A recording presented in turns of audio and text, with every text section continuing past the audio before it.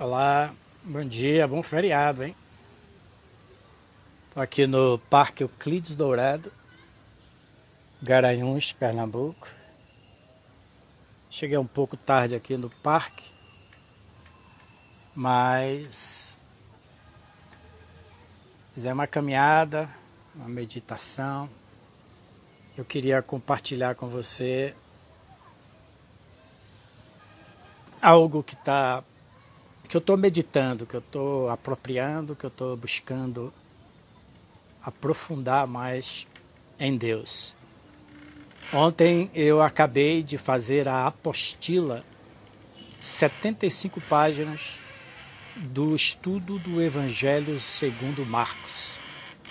O Evangelho segundo Marcos foi o primeiro na ordem cronológica a ser escrito o Marcos foi discípulo de Pedro, caminhou com Pedro, ele foi um secretário de Pedro, João Marcos. A sua mãe, Maria, uma mulher com um coração extraordinário, de serva, hospedou Jesus lá em Jerusalém. Ela tinha uma casa grande com empregados, né, um grande é, cenáculo. Cenáculo era a cobertura da casa, eles faziam uma tenda. A palavra cenáculo, em latim, significa lugar de ceia. Então ela cedeu a casa dela para Jesus fazer a última ceia. No dia de Pentecostes, Atos capítulo 2, os discípulos se reuniram na casa de Maria, mãe de João Marcos. E certamente ela estava lá junto com outras mulheres e Maria, mãe de Jesus, e os irmãos de Jesus junto com os onze apóstolos no dia de Pentecostes. Né? São mulheres que deram a vida, serviam ao Senhor, inclusive com os seus bens. Bem, então ontem eu concluí a, a apostila do curso, do meu curso Estudo Bíblico com Revelação. Acabei a apostila de, do Evangelho segundo Marcos. E aí eu faço a última correção. Depois eu mostro para vocês a apostila aqui nos stories. E a última correção. Erros de, de, de, de parágrafo, erro de digitação, erro de, de, de citação de versículo, às vezes está errado, etc. São pequenos detalhes para que a apostila fique pronta. Olha, todo cristão precisa, deve ter a experiência de fazer um estudo bíblico dos quatro evangelhos. E eu quero compartilhar com vocês o assunto que ficou ontem na minha mente e no meu coração a respeito do evangelho segundo João Marcos. O evangelho de Marcos, o menor dos evangelhos, 20, 16 é, capítulos, Mateus tem 28 capítulos, Lucas 24 capítulos.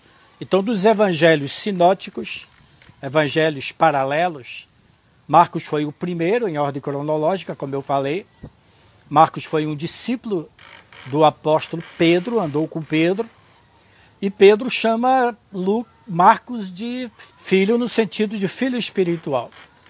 Então, é, Marcos escreve o Evangelho logo depois da morte de Pedro, no ano mais ou menos 65, 65 da nossa era.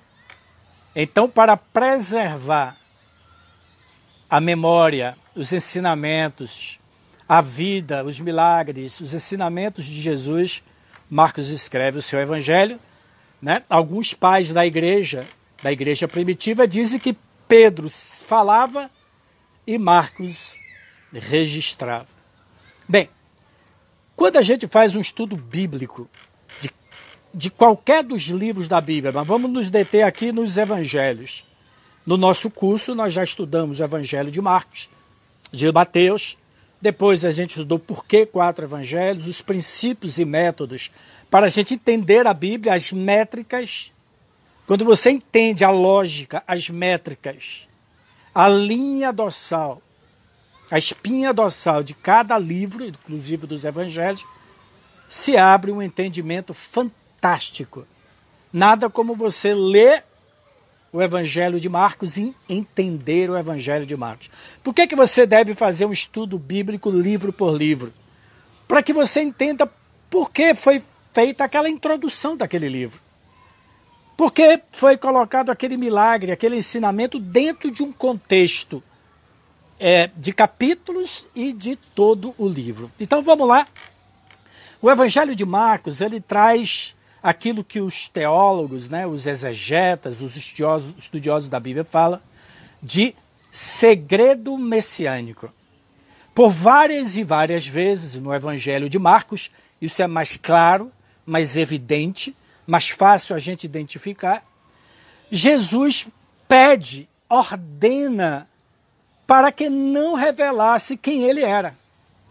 Por exemplo, quando ele expulsa demônios, os demônios vêm e declaram: Tu és o Filho de Deus, viestes atormentar-nos antes do tempo?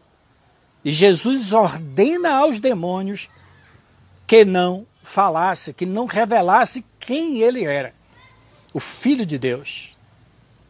Quando ele cura pessoas, paralíticos, cegos, diversos tipos de enfermidade, a pessoa naquele entusiasmo, naquela alegria da cura e da libertação, ele fala: fique calado, não revele nada.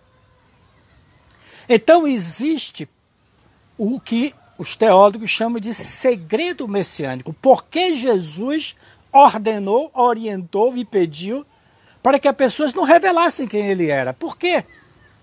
Estranho, né? Muito estranho. Então, quando você lê o Evangelho segundo Marcos, você chega no capítulo 8 e no capítulo 9 do Evangelho de Marcos. Depois pegue sua Bíblia para conferir. O capítulo 8 e o capítulo 9 do Evangelho segundo Marcos é o coração do Evangelho, é o meio do Evangelho. O Evangelho tem 16 capítulos, né? Os capítulos não são originariamente não estão no original, a Bíblia não foi dividida em capítulos e versículos, isso foi acrescentado para que houvesse uma, uma utilização, um emprego, uma facilitação de leitura, citação, etc., dos livros da Bíblia. Mas está no meio do Evangelho. No capítulo 8 e o capítulo 9 do Evangelho de Marcos, ali você tem um coração, o ponto de bifurcação. Jesus começa a mudar toda a ênfase do seu ministério a partir dos eventos, dos ensinamentos e das circunstâncias que são registradas em Marcos, capítulo 8 e Marcos, capítulo 9. No capítulo 8, Jesus é, ensina e alerta os discípulos a terem cuidado com o fermento dos fariseus. E ele usa uma expressão: vocês tende olhos e não veem? Tendes ouvido e não ouvem? Então Jesus repreende. Ou né, uma repreensão serve para trazer um alerta, um despertar. Jesus desperta, vamos usar essa expressão. Jesus desperta, né, dá um choque na mente, no coração, no espírito dos apóstolos. Vocês têm olhos e não veem? Aquilo começou a preocupar os discípulos. A que, que ele se refere? Que repreensão é essa? Que alerta é esse? Logo em seguida, no capítulo 8, ele faz a cura de um cego em Betsaida. Betsaida já era a região ali próxima a Jerusalém. Ficava em torno de 3, 4 quilômetros da cidade de Jerusalém. E havia um cego. As pessoas trouxeram aquele cego, o cego de Betsaida, para que Jesus curasse-o, o libertasse, curasse daquela cegueira. Jesus tira aquele cego da aldeia, separa ele, coloca saliva nos seus olhos, impõe as mãos sobre ele e fala e pergunta: O que é que você está vendo? Aí aquele cego fala: Eu estou vendo homens caminhando como se fossem vultos de árvore. árvore. Ou seja, aí Jesus ora de novo sobre ele, ora e fala: E agora? O que é que vocês estão enxergando?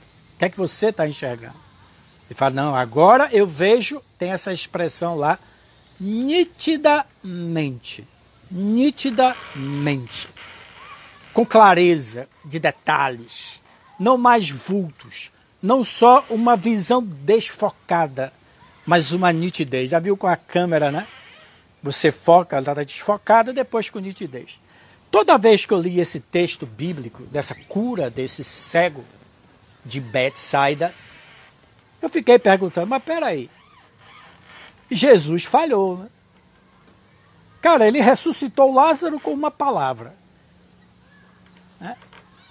Ele trouxe cura apenas ordenando. Como é que Jesus ora para uma pessoa ser curada e ela não é curada instantaneamente? Mas em dois momentos. Pô, esse Jesus aí tá. Deu chabu, né?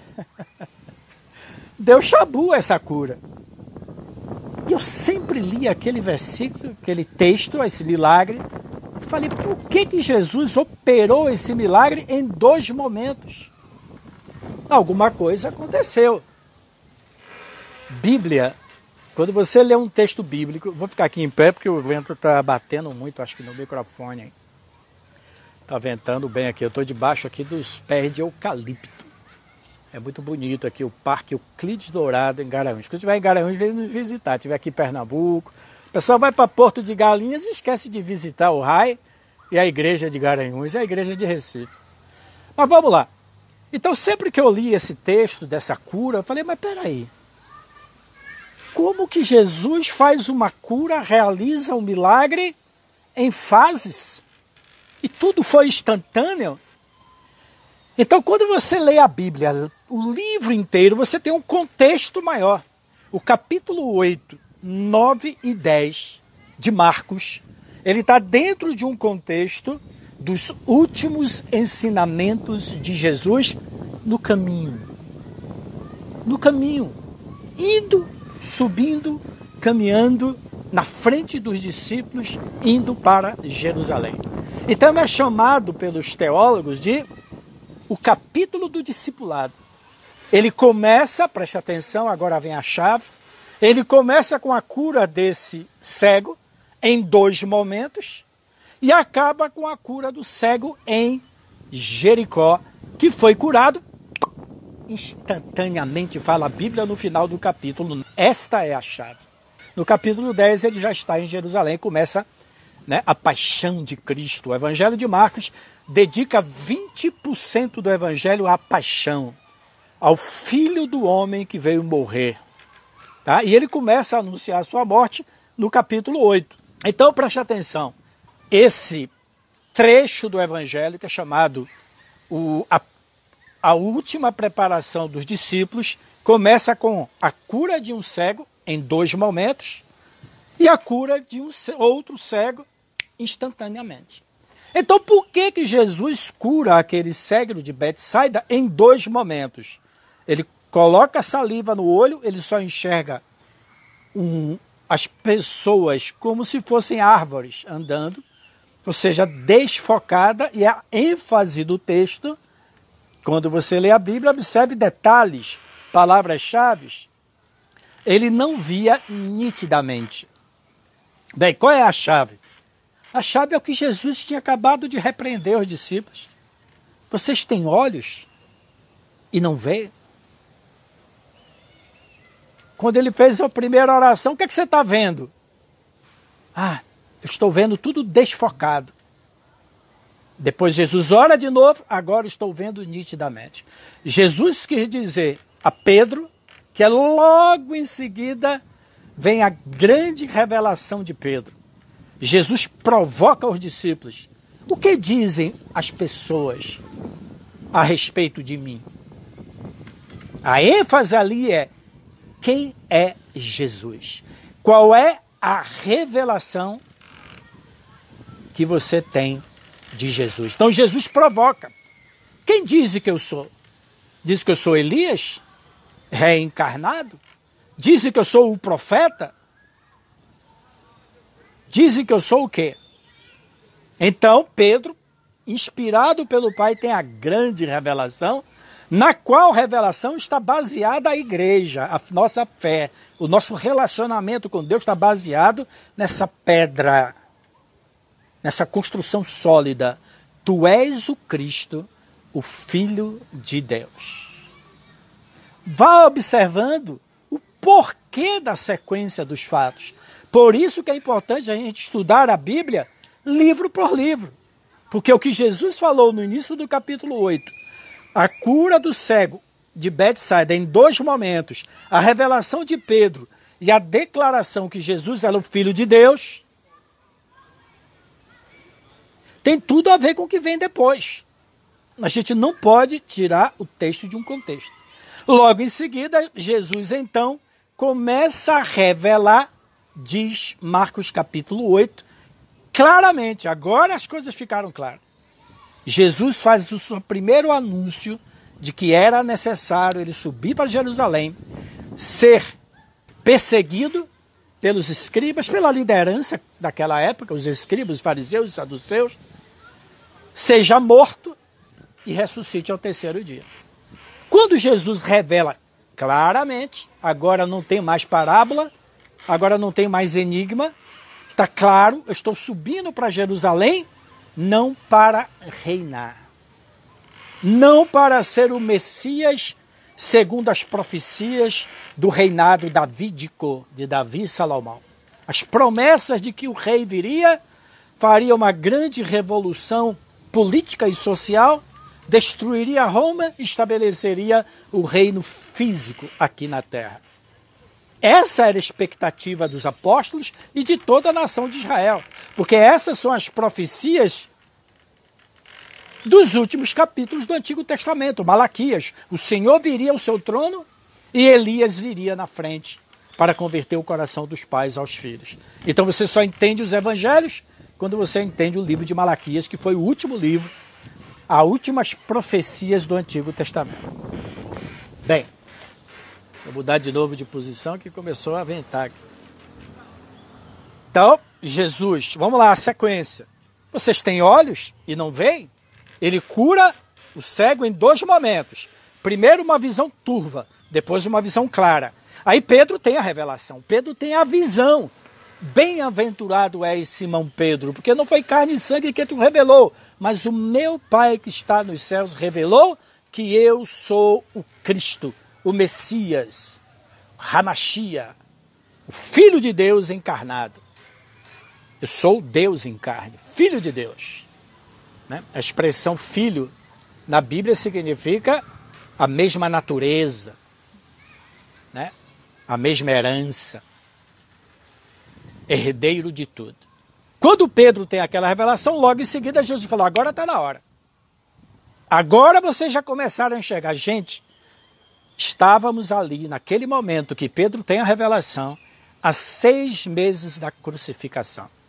Eram os últimos meses de Jesus com seus discípulos. Então, o capítulo 8, 9 né, de Marcos, ele condensa os principais e últimos ensinamentos de Jesus aos seus discípulos.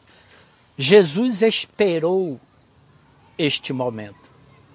Jesus não, não deveria, não prosseguiu o seu ministério enquanto um dos seus discípulos tivesse a revelação de quem eu sou. Por isso, o segredo messiânico. Depois que Pedro tem a revelação, Marcos capítulo 8, né? Jesus fala que tem que subir a Jerusalém, morrer e ressuscitar. Pedro então fala: Não, Senhor, chamou Jesus à parte e repreendeu Jesus. Que é isso, Jesus? Como é que você fala isso? E Jesus usa uma expressão: Pedro, arreda-te de mim. Aquela palavra arreda-te não é uma. significa, em outras traduções, vai para trás de mim, Satanás. Porque Jesus tem que ir na frente no caminho do discipulado. Você quer me dar conselhos? Eu sou o mestre. E colocou Pedro atrás dele, no lugar que Pedro deveria estar. Você vai ver no Evangelho de Marcos que Jesus está sempre na frente. Né? Ele estava andando para Jerusalém e, pequena expressão, ele fala assim: e ia Jesus na frente e os seus discípulos atrás. O Evangelho de Marcos tem outra. Quando você lê todo o Evangelho, tem outra, outra, outro ensinamento básico que é o ensino pelo caminho. Você só vai ter uma revelação de Jesus Cristo, quem Ele é, quando você caminhar com Ele no caminho. É durante o caminho, é durante o relacionamento com Ele, que seus olhos vão abrir e ver nitidamente. Só que o que acontece? Os olhos de Pedro foram abertos de forma desfocada. Olha lá, a cura do cego de Betsaida. Pedro viu Cristo, Filho de Deus, mas foi desfocado. Para você entender isso, você vai entender que o Evangelho de Marcos tem dois ensinamentos básicos a respeito de Jesus. Jesus é o Filho de Deus, Marcos capítulo 1, versículo 1. Princípio do Evangelho de Jesus Cristo, Filho de Deus. Até o capítulo 8, a primeira sessão do Evangelho de Marcos, ele vem revelar que Jesus é o Filho de Deus, o enviado, o Verbo que se fez carne, segundo João, o Messias. E Pedro teve a revelação no capítulo 8. Tu és o Messias. Pronto. Acabou a primeira sessão do Evangelho. A visão ainda era incompleta. Precisava-se ter uma outra revelação de Jesus Cristo. Que ele não só era o Filho de Deus, o Deus encarnado, o Messias prometido, o Salvador do mundo. Então Jesus fala para Pedro: Pedro, vai para trás me siga. Logo em seguida, aí já vem capítulo 9 de Marcos, Jesus chama Pedro, Tiago e João para subir ao monte da transfiguração.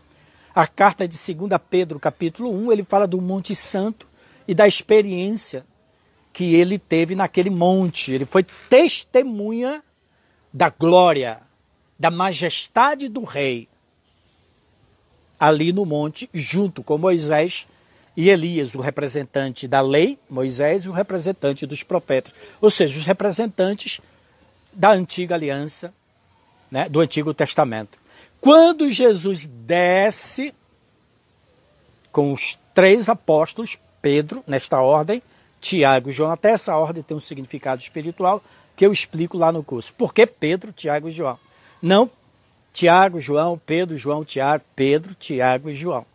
Tudo na Bíblia tem um significado, tem uma revelação por trás. Bem, quando Jesus desce do Monte da Transfiguração, Marcos capítulo 8, vers... capítulo 9, versículo 9. Assim que ele desce, ele fala: Aquilo que vocês viram, olha lá de novo, viram, viram, viram. O Evangelho de Marcos é cheio dessa pequena palavra ver, ver, enxergar. Aquilo que vocês viram no monte, não falem com ninguém, até que eu ressuscite. o segredo messiânico, não revelem quem eu sou, até que vocês vejam eu ressuscitado. Gente, Jesus esperou que os apóstolos tivessem uma revelação de quem ele era. E a revelação não só apenas de que ele era o Filho de Deus. E ele continua no capítulo 9, versículos 10, 11, 12 em diante. Aí ele revela que ele, além de ser o Filho de Deus, ele é o Filho do homem. Aí ele continua, porque o filho do homem veio para morrer e dar a vida por muitos.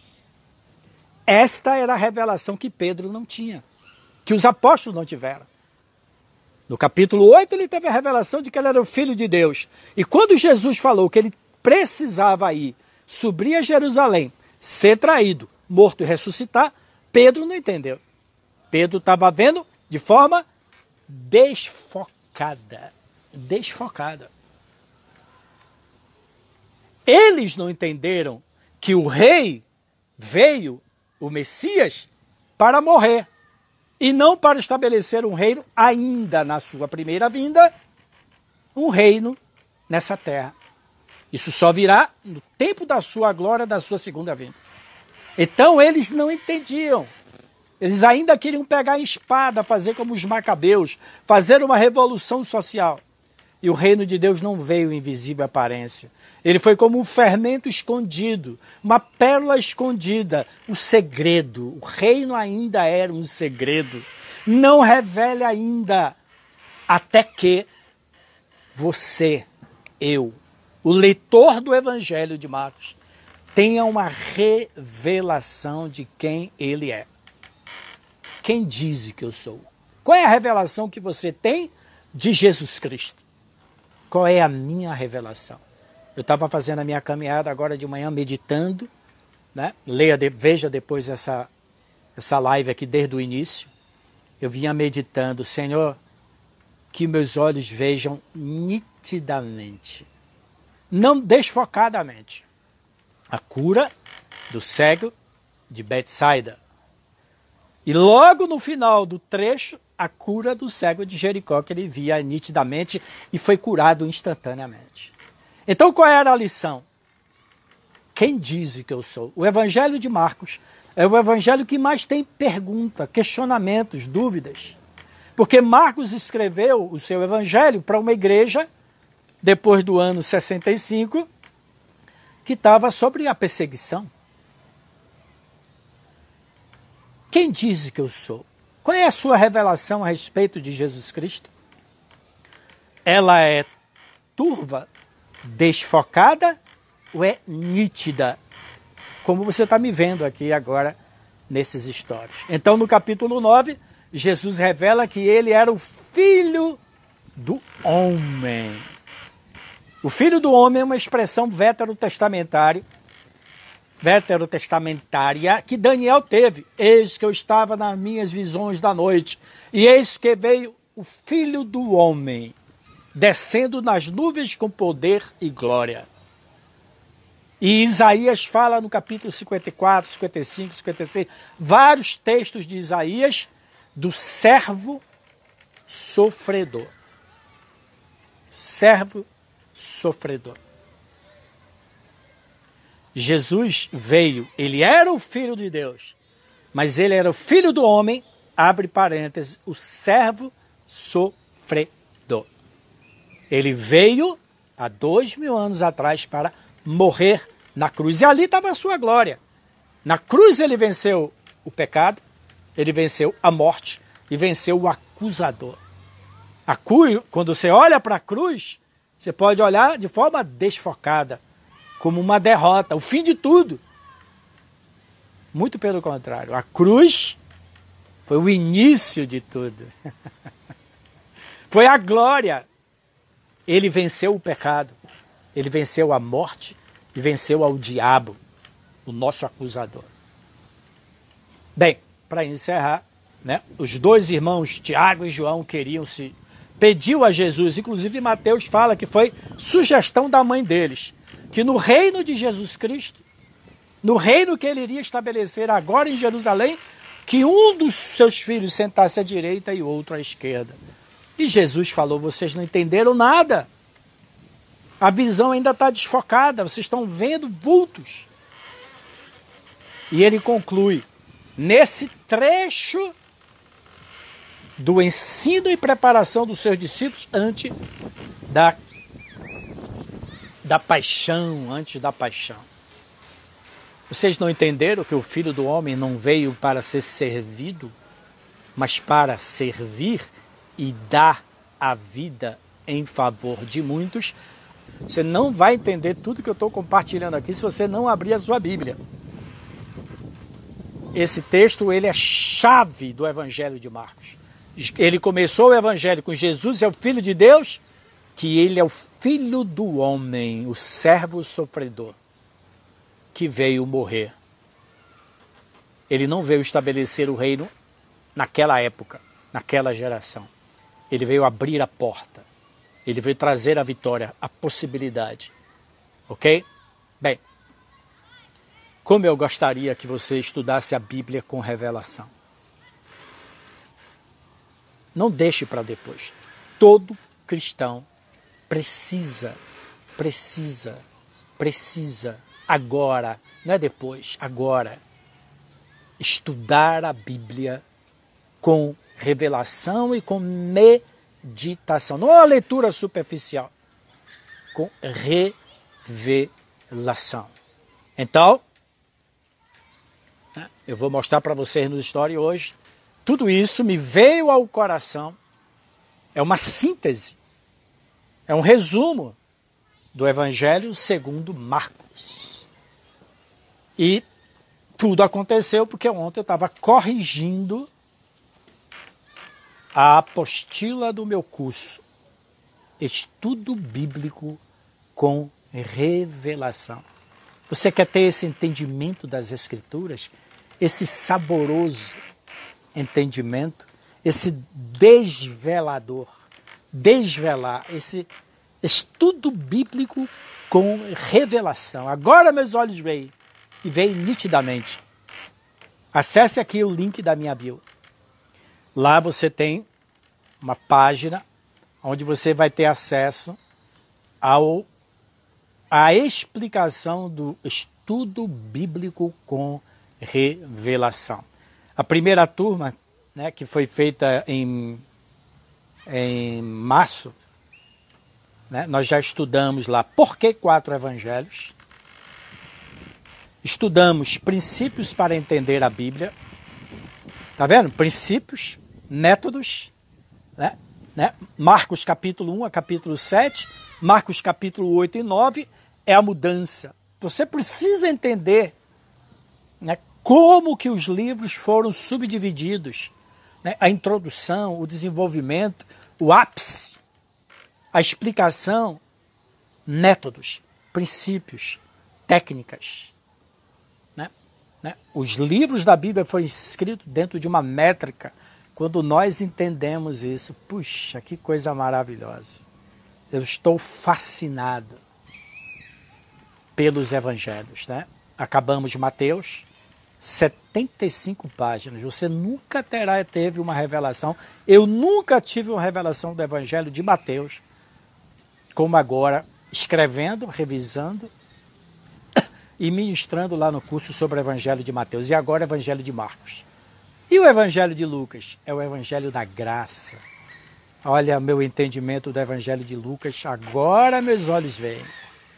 Eu gostaria tanto que seus olhos fossem abertos. Não deixe passar esta oportunidade.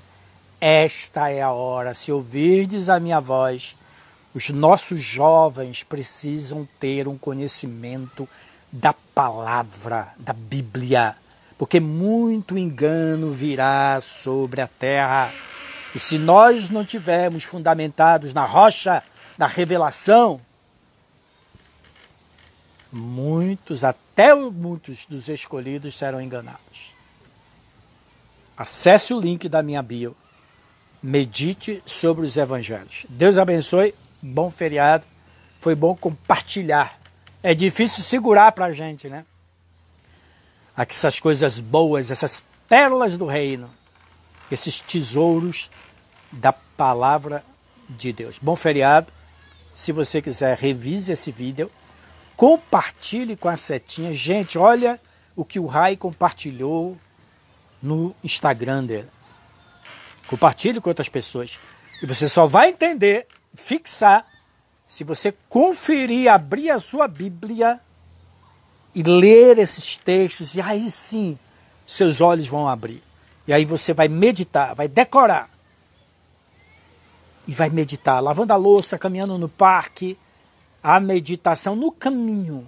No caminho, você vai ter a revelação de quem é Jesus.